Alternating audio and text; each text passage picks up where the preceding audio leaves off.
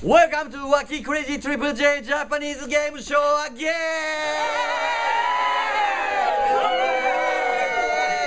Second contestant is Tom! He goes over the shelves, going down and going up and going down, and right there is the finishing point. Okay? And Teddy Bear is gonna hit him hard, kick him hard. So I don't think he's gonna fit this small space. He's a huge guy.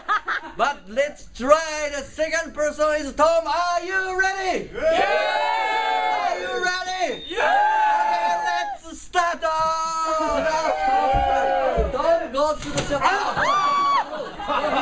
Don't break the rule.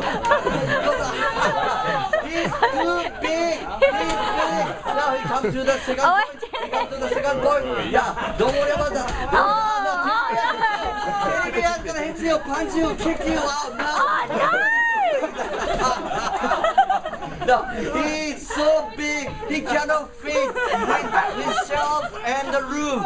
He's, he's too big. Tom, are you ready? Are you breathing? Are you alive? Tom, come on.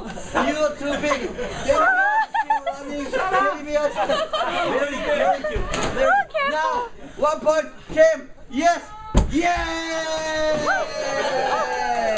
Wow. Ah, let's see the time. Let's see the 49 second. You lost. The winner, winner is